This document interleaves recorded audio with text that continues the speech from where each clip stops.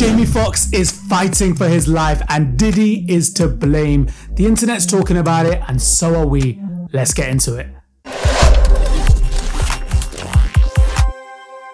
Hollywood actor and singer Jamie Foxx has been in hospital for over three weeks now after suffering a medical emergency. Source says Jamie suffered a serious medical episode and needed immediate attention. It was touch and go for a few days with him, and he had to be revived. However, there are rumors running wild that Jamie Foxx's former friend Diddy, or Puff Daddy as he's known in the industry, has targeted him, and this has led to him being in hospital. That's because before Jamie suffered a medical emergency, an old video of his resurfaced where he appeared to be on a mission to expose Diddy to the world, revealing that he has incriminating video footage from Diddy's secret parties. Jamie admitted he filmed a lot of parties that Diddy threw. Jamie went into quite a bit of detail about the parties, but you could tell that he was holding a lot of information back and leaving certain things to people's imagination. So it's not just about what Jamie said, it's more so about what he didn't say and what he hinted at. People think Jamie knows a lot of Diddy's secrets that could ruin his reputation within the industry, including questions around his sexuality. And when it comes to megastar Diddy, he's been in the spotlight a lot recently, surrounding claims that he once groomed a very young and impressionable Justin Bieber and Usher and I lived with Sean Puffy Combs for a year. That's the crazy thing. Now that yeah. was L.A. Reid's idea, right? We're sending New you over York to City. something called Puffy Flavor Camp. There you go.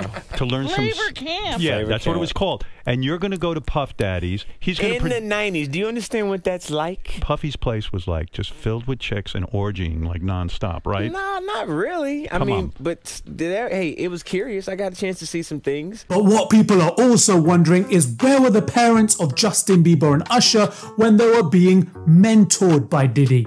At just 14 years old, Usher moved to New York to stay with Diddy. Opening up about the strange move recently, Usher's mother called it a business decision. Usher went to stay with Puffy. Now that was a business decision right there because I didn't know Puffy. I didn't know him. Which makes you wonder, did she know about Diddy or did she turn a blind eye for the cash? Justin Bieber is also believed to be a victim of Diddy's creepy behavior. As soon as you turn 16, you know what I'm saying? I'm gonna let you rock this every time you right here? LA. Yeah, it's gonna be yours. So, where would you like to go? Um, I mean, wherever you want to go. Where are we going?